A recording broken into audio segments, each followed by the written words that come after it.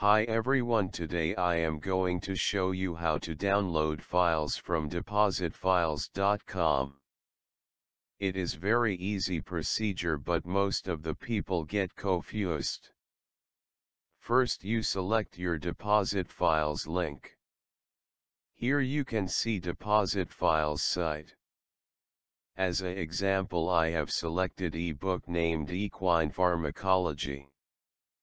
Here you can see file is available. Now scroll down.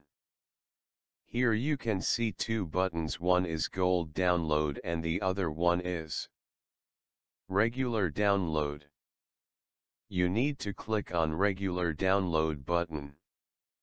Click on it and just wait few seconds then it will show. Attention regular download is starting. Here you have to wait 60 seconds until count comes to 0. Now you can see rectangular area showing enter the following.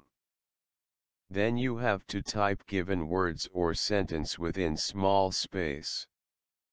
Now click on submit button. Now you will see new button named regular download mode by browser. Click on it. Now you will get your book. Thank you.